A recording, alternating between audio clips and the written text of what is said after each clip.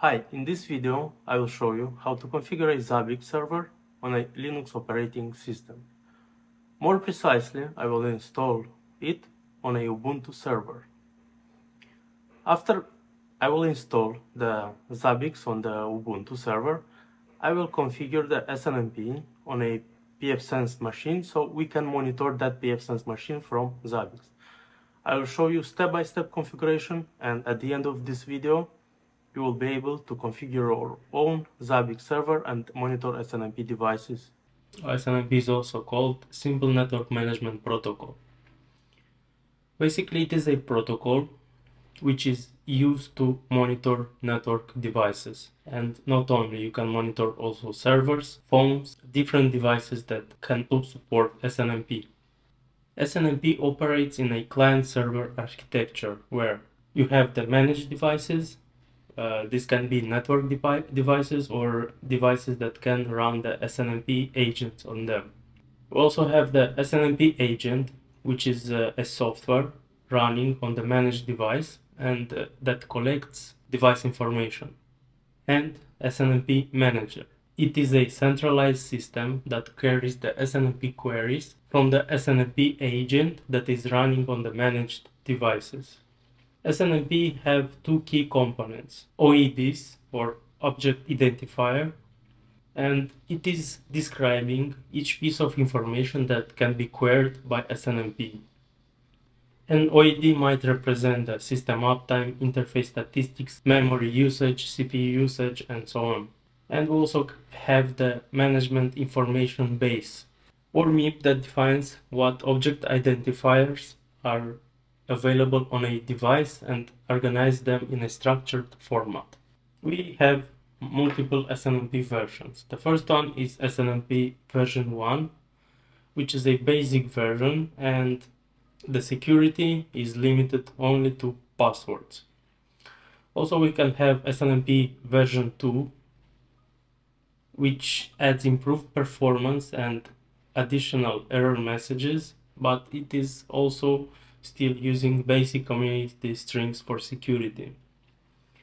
And heads up, the SNMP version 2 is the most used SNMP version because normally you will run SNMP in a private network. However, if you want extra security or if you want to run SNMP with uh, authentication, encryption, and uh, all the security features, you will want to use version 3. How SNMP works? Basically, the SNMP manager will send a GET request and it will query for specific data. It can query for CPU utilization, memory utilization, interface utilization, and so on. Also, SNMP manager can send set requests which uh, configures and changes settings on the managed device. SNMP agents on the managed device can also send trap notifications, which are unsolicited alerts to the SNMP manager when a specific event occurs. For example, interface go down, the CPU utilization is too high, or maybe there are some errors that appear on the device, alarms, and so on. Let's take a look at our network. Basically, the important part from here is that we want to monitor the pfSense device using Zabbix. And Zabbix is directly connected to the pfSense and will have a subnet address of 192.168.3.0/24, where the Zabbix will have 192.168.3.100/24. If we check the IP address, we can see that it is present here and it is statically configured using NetPlan.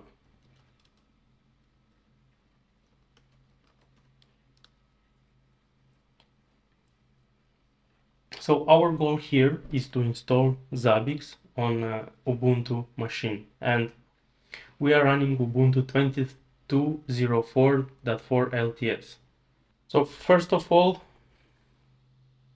we need to go to the Zabbix website and go to the download section. We want to use latest version of Zabbix, which is 7.0 LTS. We want to use it on Ubuntu, and the Ubuntu version is 22.04. We want to install the server, frontend, and agent. We want to use the MySQL database and Apache web server. First thing first, first thing first, we'll follow this documentation to install Zabbix. So let's begin. First, we'll become sudo and we will use the following commands to download the necessary packages.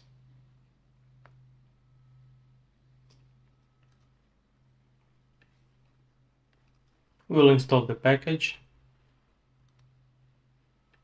and we will update our repository.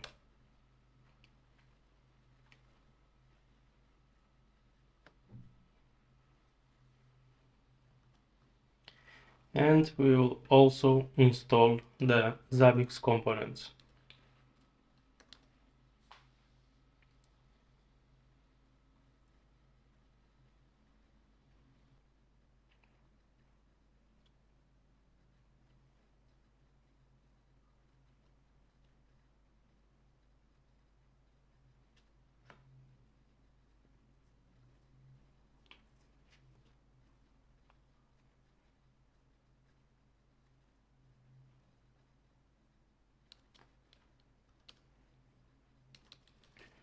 So now that we have installed the Zabbix services, we can go ahead to the next step and create initial database.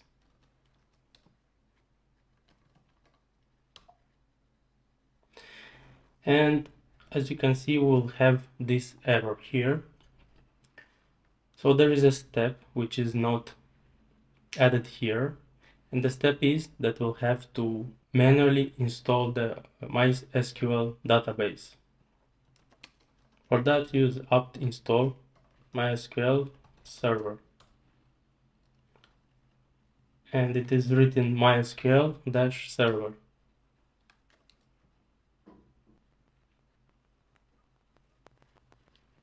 okay now we can issue the command.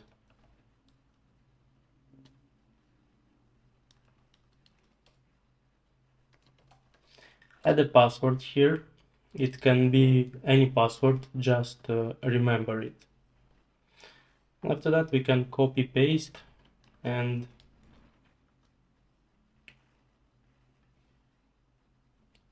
just be sure to modify this password here with your actual password.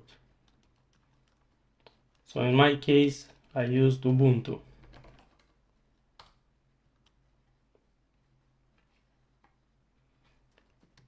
Then continue copying the lines.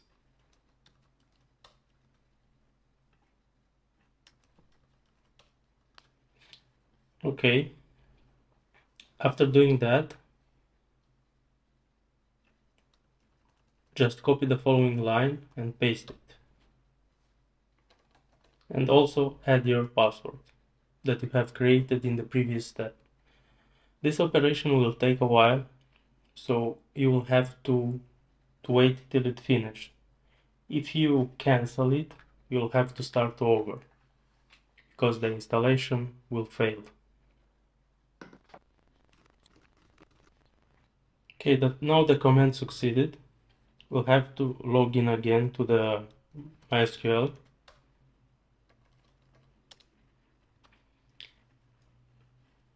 And we'll copy this line and quit. The next step is to modify the Zabbix server configuration with the password that we have used before. So we'll search here db password and we will uncomment this line and add our password. After that, we'll have to restart the Zabbix server and Zabbix agent and also the web server.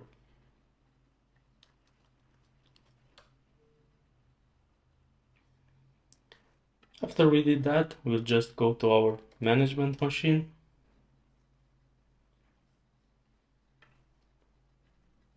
And we will enter the address of configured on the Ubuntu server interface with slash Zabbix. And we will be greeted with the Zabbix setup page. Hit next step, next, add your password here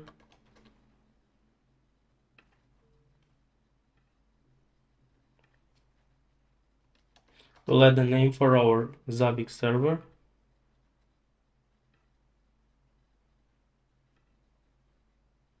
and hit finish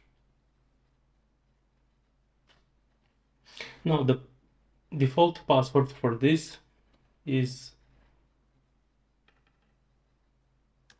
admin and the password Zabbix. And we are logged in in our Zabbix management page. As I mentioned, we want to monitor our pfSense device. So for that, we'll go to management machine, we'll go to the pfSense, to the services, and to SNMP. we will enable the SNMP daemon. You can also add different information here, system location, system contact, and most important, the community string. We will modify the community string to be Zabbix. And we will also enable SNMP trap. And for the trap server, we will add our uh, Zabbix IP address. 192.168.3.100. And for SNMP trap string, we will also use Zabbix. And we will use all interfaces here. This option defines which interface should be used uh, to receive uh, SNMP requests. Now, let's go to monitoring hosts scroll on the side here and we'll create a new host host name will be pfSense we will select a template and in Zabbix you'll have multiple templates uh, defined for uh, different types of uh, devices if we'll check the templates, we should find the template for pfSense and for Cisco, for Juniper, a lot other vendors. We'll create a host group and we'll call this host group firewall. And it would be a new group. This is just done for filtering firewalls, for example.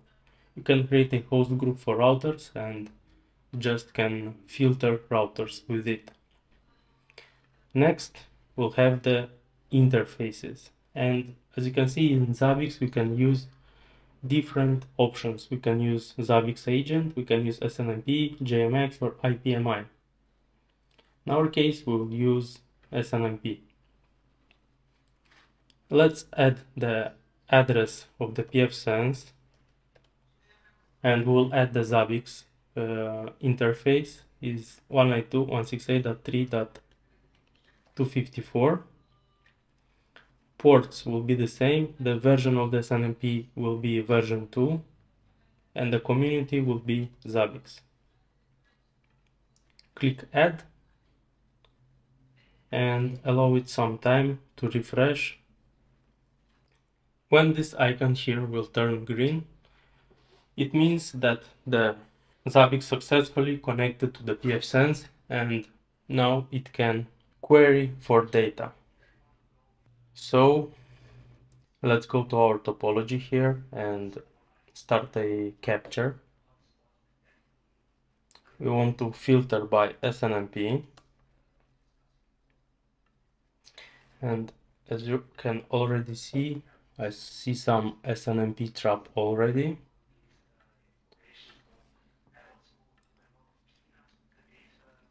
if you go to Zabbix I said that we use a template for pfSense but if you go to but if you go to data collection and templates we can see a template for different type of uh, devices. We have for even for macOS Linux MikroTik Juniper Cisco whatever you want. And if you cannot find it here you will definitely find it in someone's GitLab repository. So let's go to monitoring to host. And here we can see the latest data which was uh, gathered by uh, Zabbix from the pfSense and we have different stats here. And um, it's important to mention also that the information that you see here is used from the template and the template will provide those OIDs that Zabbix will use to interrogate pfSense for data. Let's check again the packet capture and we can see the get request and the responses from uh, from pfSense. If we'll go here for example and we'll delete this link so simulate the link down and uh, check the capture we should be able to see somewhere a SNMP trap for that. Let's connect the link back and just go back to Wireshark and as you can see we have a SNMP trap for link down and one for link up. If we go to hosts, those are the basics on how to configure SNMP and how to work with Zabbix. So this is how you configure Zabbix server on your Ubuntu server or virtual machine. I hope you have enjoyed this video and that you have learned something new. And if you are interested to learn more and explore more the world of the pfSense, I invite you to check out my course in the video description because there are plenty more to be learned and uh, networking and pfSense in general is a pretty big subject. Thank you and I will see you in the next one.